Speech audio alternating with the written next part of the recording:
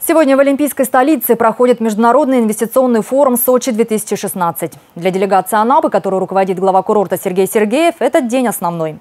Прошли важные деловые встречи с инвесторами, подписано соглашение о строительстве детского развлекательного парка «Книга джунглей», жилого комплекса «Высокий берег», водно-развлекательного комплекса «Белые паруса», курортного отеля и спального корпуса с помещениями курортного обслуживания пансионата «Анапчанка», а также о комплексном освоении территории Черноморского побережья города-курорта Анапа. Также Сергей Сергеев принял участие в обходе экспозиции Краснодарского края вместе с главой региона Вениамином Кондратьевым и заместителем председателя правительства России Дмитрием Козаком.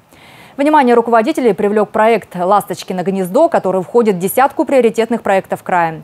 Его макет выставлен на Анапской площадке. Мероприятие инвестиционного форума продолжится до 2 октября.